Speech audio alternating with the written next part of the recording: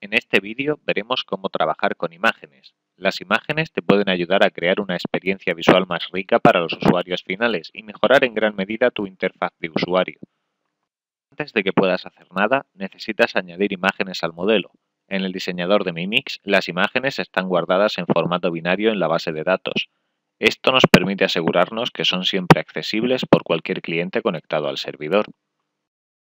Las imágenes son añadidas al modelo de datos en el diseñador del modelo, específicamente en la pestaña de activos. Generalmente, siempre es una buena idea crear una vista para cualquier archivo que añadas si no tienes una ya. Mantener tu modelo organizado es una parte importante del diseño del modelo y añadir imágenes no es una excepción. Dado que no tengo una vista para mis archivos, voy a añadir una ahora mediante el botón Añadir vista raíz. Llamaré a esta vista Archivos y después pulsaré OK para terminar de añadirla. Mientras estoy aquí, crearé una vista hija específicamente para las imágenes, dado que puedo querer añadir otros tipos de archivos más adelante. Llamaré a esta vista Imágenes y pulsaré OK. Ahora que tengo un lugar donde almacenar mis imágenes, voy a empezar a añadirlas. Para hacerlo, selecciono la vista que quiero usar, después pulso el botón Añadir archivo, que es el segundo desde la derecha. Esto abrirá un cuadro de diálogo donde podrás navegar hacia tus imágenes que quieres añadir.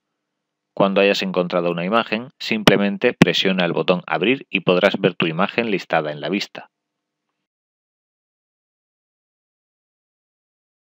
Cuando selecciones una imagen, verás un montón de propiedades listadas en ella. Estas te dan todo lo que necesitas saber acerca de la imagen guardada en nuestra base de datos. No deberías de cambiar ninguna de estas propiedades. Primero, tienes la propiedad CanCache. Es un valor booleano que fijas para determinar si la imagen puede ser cacheada por el sistema o no. A continuación, tienes el contenido. Este es el contenido actual de la imagen que has seleccionado. Si por cualquier razón necesitas actualizar esto, puedes hacer doble clic en la celda Valor para revelar un botón. Si lo pulsas, abrirás un nuevo cuadro de diálogo que te dejará utilizar una nueva imagen para usar. Después, tienes el tipo de archivo. Este es usado en conjunto con el tipo MIME. Puedes editar ambos para cambiar el tipo de extensión que estás buscando cuando abres el cuadro de diálogo para actualizar la imagen. Los metadatos te permiten fijar información acerca de la imagen. Usualmente, esto es una descripción de la misma imagen. Generalmente, el tipo MIME es usado con propósitos informativos. Por ejemplo, si almacenas un archivo PDF en tu modelo y luego necesitas abrirlo, este tipo MIME ayuda a la máquina que está ejecutando el cliente a comprender qué necesita para que el archivo sea abierto. Propietario. Esta propiedad es fijada por el sistema cuando usamos plantillas en los Mimics. No hay nada que necesitemos hacer con ella. Finalmente, tenemos el tamaño, el tamaño de archivo de la imagen que has añadido a tu modelo. Ahora que tenemos imágenes añadidas en nuestro modelo, podemos meterlas en el diseñador de Mimics y acceder a las mismas. Para esto hemos abierto un Mimic, así que vamos a ir a las herramientas y a encontrar el grupo Media. Continuación, pondré un control de imagen enlazable en la superficie de diseño y estaré listo para añadir la imagen. En el diseñador de Mimix, todas las imágenes son añadidas a través de enlaces.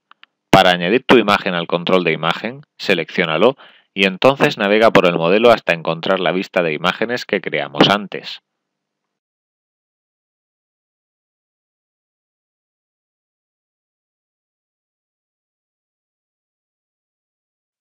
En la vista de imágenes veremos la imagen listada. Expandiéndola, veremos todas las propiedades de la imagen.